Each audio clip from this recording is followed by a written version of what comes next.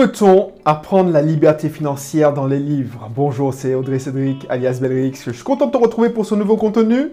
Bah, en fait, euh, avant d'entrer dans le sujet, mais je vais faire cette émission pour alimenter une réflexion parce que il euh, y a pas mal de personnes qui pensent qu'ils pourront apprendre la liberté financière, à investir dans l'immobilier en lisant des livres, en, en visualisant des formations comme les miennes.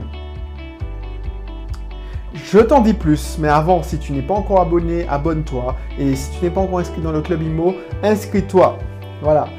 Alors, pourquoi je te fais cette émission? Pourquoi je te parle de ça? Parce que j'ai remarqué qu'il y a pas mal de personnes qui veulent tenter de, se former seules. Alors, pourquoi je ris? Sais pas que je me moque de ces personnes-là. Moi, j'ai tenté de me former seul. Et effectivement, effectivement, je dis pas que tu n'auras pas de résultats parce que c'est pas vrai. J'ai eu des résultats.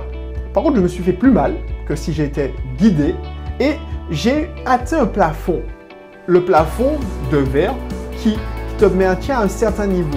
Parce que si, ce que j'ai compris, c'est que pour devenir libre financièrement, et c'est ce qu'on ne dit pas, parce que par exemple, il y a un livre que j'ai commencé à lire, tout le monde a lu, c'est Père riche, Père pauvre.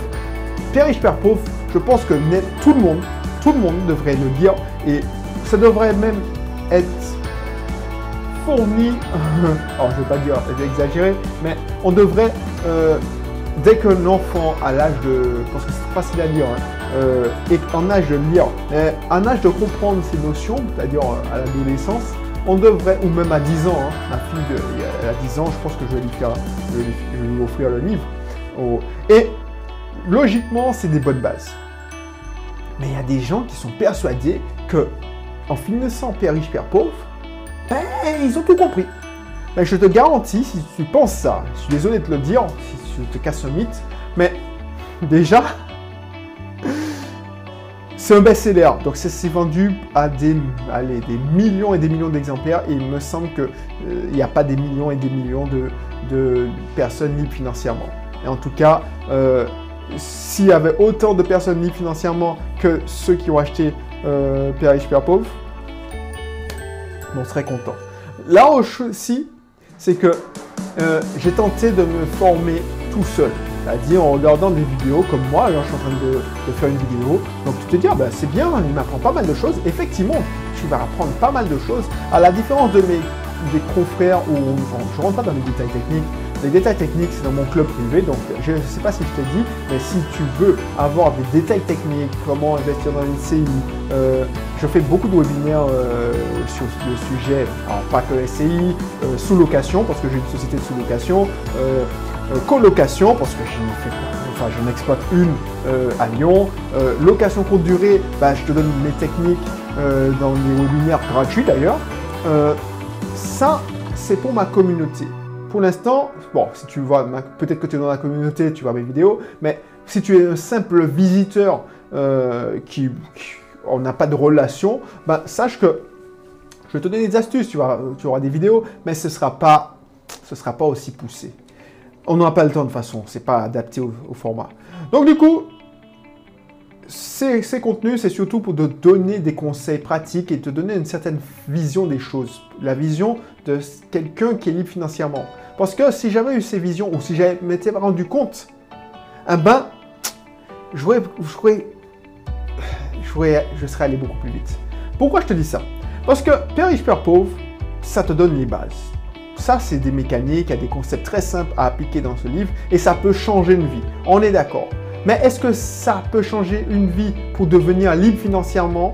Je ne suis pas sûr que ça suffit. Pourquoi je te dis ça? Parce que tu as ta vision quand tu lis le truc, quand tu lis le livre, imagine que tu as un stade comme ça. Tu lis avec cette vision-là, ce mindset-là, cet état d'esprit. Donc, on va pas lire la même chose, où le Audrey Cédric d'il y a 5 ans ne va pas le lire de la même manière que le Audrey Cédric d'il y a maintenant. Et c'est ça, je ne compare pas aux autres, hein. mais je te dis, euh, c'est surtout parce que tu as évolué. L'expérience de la vie t'a donné les informations. Donc, c'est les gens qui pensent qu'ils peuvent devenir libres financièrement en apprenant de la technique, en faisant de la... En, acquérant du, en faisant l'acquisition du savoir, ils se, ils se mentent à eux-mêmes. Et ils, oublient un, phénomène, c'est que le savoir ne suffit pas. Il faut le savoir-faire et le savoir-être, c'est-à-dire le mindset, l'état d'esprit. Voilà, si tu es infirmier, bon, je te dis, je te parle d'infirmier libéral parce que je fais tout à l'heure un infirmier libéral. Si tu, es un, si tu es infirmière libérale, tu es infirmier libéral, tu sais très bien que le savoir que tu as appris en école, et ma belle-sœur a fait cette école-là, donc euh, je connais bien le sujet, mon épouse est libérale aussi. Bah, à la sortie de l'école, bah, tu ne sais rien. Tu sais, tu as des notions, tu as, une théorie. Tu acquiers un peu de savoir lors des stages. C'est pour ça que c'est important. On t'apprend à piquer, enfin, euh, faire une piqûre, excuse-moi, euh, voilà, à faire un soin. Mais le savoir-faire, le savoir-faire, c'est sur le terrain quand tu as ton premier job, ton premier poste, et ainsi de suite. C'est la même chose quand tu es professeur des écoles, quand tu es... Voilà.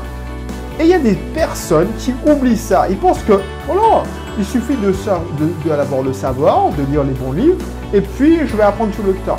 Ben, tu te fais très mal. Et une troisième composante que j'avais oubliée, parce que le savoir et le savoir-faire ne suffisent pas pour devenir libre financièrement, c'est l'état d'esprit, le savoir-être. C'est comment on agit quand on est libre financièrement. Avoir augmenté son thermostat financier. Par exemple, j'ai lu euh, L'Esprit millionnaire. Euh, je l'avais lu il y a 5 ans. Ben, j'ai redécouvert les choses. Par exemple, là, peut-être que tu vois, tu aperçois les livres euh, que j'ai dans ma bibliothèque. Oh, je dois la refaire parce que voilà. Mais je mets que mes meilleurs livres. Je suis très Kindle. C'est pour ça que je lis beaucoup, mais c'est sur ma tablette. Mais les meilleurs, voilà, les meilleurs que j'ai envie d'écouter, qui m'ont, qui m'ont, qui m'ont, qui ont impacté ma vie. Ben, normalement, je les ai en version électronique, je les ai en version audio et je les ai en version papier. Pourquoi? Parce que quand je, quand je regarde le livre, je me rappelle du livre et des concepts. Donc, bon, ça c'est la parenthèse. Mais tu vois, peut-être tu devines euh, l'autoroute du millionnaire de MJD Marco. Il y a une vidéo, j'ai résumé ce livre. C'est un livre qui m'a marqué. C'est quand j'ai commencé à mon voyage sur vers la liberté financière. Ah ben, C'était en 2014, début 2014. Euh, ouais. J'ai lu trois livres. L'homme le plus riche de Babylone, parce que tout le monde les, conseillait. Père riche, père pauvre, que j'adorais. Et MJD Marco, l'autoroute du millionnaire. Et je l'ai lu, à l'époque il n'était pas traduit en français, je l'ai lu en, version anglaise. Et franchement, ça m'a impacté. Ben, je ne vais pas mentir, ça m'a fait grandir. J'ai compris les concepts. Mais il y a un moment, ce savoir-là, tu ne peux pas le mettre en relief. Tu le comprends avec ta vision des choses du moment. Et quand je l'ai lu en 2014 et que je l'ai relu en 2000... 19. Un ben, j'ai les concepts, ceux qui m'avaient impacté en 2014, c'est pas les mêmes choses qui qui m'ont impacté en 2019. Parce que j'avais changé de palier, j'avais changé, j'avais évolué. Et il y a des trucs que j'avais ratés. Et c'est exactement la même chose. C'est pour ça que si comment j'ai ça impacté, alors que les connaissances, les, informations, c'était les mêmes informations, le mec n'a pas réécrit le livre, hein. c'est que c'est mon vécu, c'est mon savoir-faire, c'est mon expérience et mon attitude, mon savoir-être. Et du coup, ah oui, effectivement, et je, tu mets en relief et tu connectes avec des expériences passées. Et comme on a de l'expérience passée, c'est en se basant sur l'expérience que tu apprends en te faisant mal, en faisant ta propre expérience, mais ça prend du temps, et en se basant sur l'expérience des autres. Mais même quand tu écoutes quelqu'un qui te donne son expérience, par exemple dans le livre Père riche, Père pauvre, c'est une expérience qu'il te raconte, ben ça fait pas écho, ça, ça fait pas écho, et tu n'impactes pas, tu n'intègres pas. C'est pour ça que, pour moi, c'est pas possible, je suis désolé de le dire, c'est pas possible, même si je de, de devenir financièrement avec une formation en ligne. C'est pas possible de, de te mettre en. Voilà, de se dire tiens, euh, je prends une formation, la formation de Cédric, la formation de notre confrère, et puis grâce à ça, je vais devenir libre financièrement parce que ça fait, ça fait partie de tout. Si tu dis ça, tu dis, imagine j'écris un livre, euh, ou mon livre sort, et boum, tu te dis, ah, c'est génial. Le, but d'un livre, c'est de te donner une expérience. Mais pour que ça fasse écho en toi, c'est que tu dois avoir justement un vécu et avoir un certain état d'esprit. Et cet état d'esprit, comment tu fais là pour l'avoir? Ben, quand tu, en, ayant des compagnons de route, c'est-à-dire des gens qui sont au même stade que toi, qui sont au même niveau, hein, veulent la même chose. Hein. Par exemple, si tu veux créer une entreprise, ben, tu vas dans des salons de networking, euh, tu vas dans des, des after-work ou des apéros, enfin, quand ça existait, pour discuter, prendre de l'expérience, de faire agrandir ton réseau. Et donc, tu, tu papotes, tu, voilà, ça fait du bien, et puis ça te donne de l'expérience, tu, tu apprends de l'expérience des autres, c'est un échange mutuel, ça c'est super. Donc c'est des compagnons de route, tu vas trouver des compagnons de route, et tu trouves des mentors. Moi, je n'ai pas honte de le dire, j'ai un mentor. J'ai plusieurs mentors. Donc ça peut être des livres, effectivement, mais une fois que tu as fini avec tes livres, ben, pour justement impacter avec des livres, pour mettre en, action, ben, il faut que tu aies quelqu'un qui t'inspire, qui te, guide. Donc, ça peut être quelqu'un que tu connais pas, mais que tu regardes ses vidéos sur YouTube. Mais ça encore, ça suffit pas. Moi, je veux te faire économiser pas mal de temps. Je prêche pas, pas pour ma paroisse, hein, mais moi, j'ai vécu pas mal de choses. Dans ma quête de la liberté financière, j'ai commencé par les livres. Ensuite, j'ai commencé par des vidéos gratuites. Ah ouais, c'est génial. Ah, tu, les connais tous. Hein. À l'époque, il n'y avait, pas 3, 10 000 personnes qui faisaient des vidéos sur YouTube, qui parlaient de cette thématique-là. Et puis, ah c'était, euh, dans les interviews, c'était inspirant. Tu dis, ah ouais, je veux faire comme eux, si elles arrivent, moi je peux. Ok. Tu, as, tu as quand même des résultats, je pas dire. Tu commences à racheter un premier bien, ça marche. Un deuxième bien. Et puis, comme j'aime dire à mes élèves, c'est pas c'est pas l'acquisition du bien qui, pour moi, vous en faites une montagne, mais pour avoir euh, pas mal de biens en gestion avec euh, ou euh, moi en mon propre, ou même quand j'achète avec mes sociétés, ben, c'est pas l'acquisition qui est le plus gros morceau. Une acquisition, c'est 6 mois de boulot, 6 euh, mois, 6 à 8 mois. Et puis, c'est en production. Donc, même si tu en fais une montagne, tu dis oui, mais le financement, tout ça, à la fin, là où tu vas galérer, enfin, galérer long, c'est l'exploitation qui sera plus longue. Donc, l'exploitation, c'est quoi? Bah, C'est ben, gérer des galères de locataires. Alors, je merci, ça n'arrive pas souvent, mais quand ça arrive, bah, il, faut être il faut être présent. Donc, du coup, pourquoi je te dis ça? Ça, tu le vis en écoutant des anecdotes de compagnons de route, c'est pour ça qu'il faut avoir un mastermind. Hein. Pourquoi? Alors, le, mot mastermind, c'est galvaudé, tout le monde l'utilise euh, à tort et à travers. Mais à l'origine, c'était euh, Ford, Rockefeller, enfin tous ces gars-là qui s'étaient réunis en conglomérat. Pour te dire, c'était des clubs, des clubs privés. Hein. Tu connais, j'ai des amis qui sont au Rotary Club. C'est des clubs où on se retrouve Oh, il y a une cause, hein, on est d'accord, mais on se retrouve et puis on échange des idées, on discute, on débat et ça fait avancer.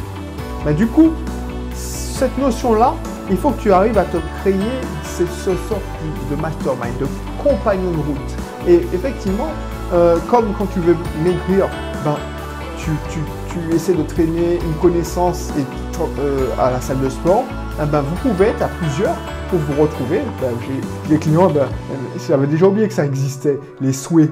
les souhaits, c'est quand tu joues au football. Alors, ça, c'est si tu n'es pas antillais, mais en Antilles, on appelle ça les souhaits. Moi, je jouais au Guadeloupe euh, sur le terrain de Grand Camp euh, quand j'étais au Guadeloupe. C'est le seul souhait que j'ai fait d'ailleurs, parce que je suis pas, à l'époque, je n'étais pas sportif. Et il m'a expliqué, ouais, il faisait des souhaits. Ben, un souhait, c'est quoi? Tu, tu veux te retrouver entre compagnons qui ont le même intérêt, la passion du football, et qui jouent ensemble. Ben, c'est la même chose pour le développement personnel et la liberté financière. Si tu essaies de trouver des gens qui veulent la même chose que toi, devenir libre financièrement, investir en immobilier.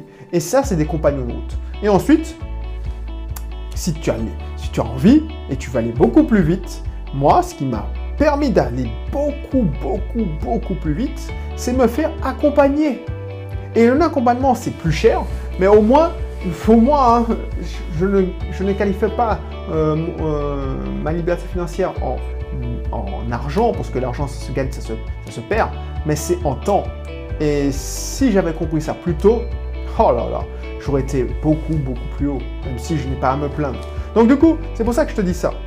Alors, alors, je pense que tu as compris. Mais je voulais te dire, c'est sûr, tu peux pas. Oh, tu vas avoir des résultats. Mais à mon, avis, tu peux pas devenir libre financièrement avec que des livres et que des formations en ligne. Surtout si tu écoutes des formations gratuites, parce que tu te mets le doigt dans l'œil. Euh, si tu penses que c'est que de la technique qui va te permettre de devenir libre financièrement, ben, ça va te permettre de mettre le, pied à l'étrier. Mais non, ça va pas le faire. Tu vas pas pouvoir euh, passer le cap. Donc c'est bien, parce que chacun a son ambition. Si tu veux juste avoir des compléments de revenus, bah, franchement, euh, si, tu veux pas quitter ton boulot, tu veux pas... Euh, bah, une formation, ça peut suffire. Mais si tu veux devenir libre financièrement, pas devenir te mettre en sécurité financière, si tu veux juste préparer ta retraite, oui, une formation en bourse, investir dans la dividende, une formation en immobilier pour acheter un petit studio ou un petit deux ou trois studios pour assurer ta retraite, ça, va le faire. Tu n'as même pas besoin de payer hein, pour ça. Je connais des gens qui se sont sortis très bien en regardant juste une vidéo. Mais si tu veux atteindre la liberté financière, je te garantis que au minimum un coaching et un accompagnement pour aller plus vite. Voilà, voilà. Donc, je vais te laisser sur cette euh, indication. Je voulais juste te faire, te, comment dire ça? Porter ton attention dessus, je n'ai pas retrouvé le mot.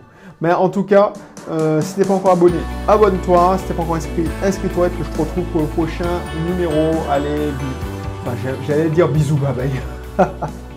Allez, à bientôt. Bye bye.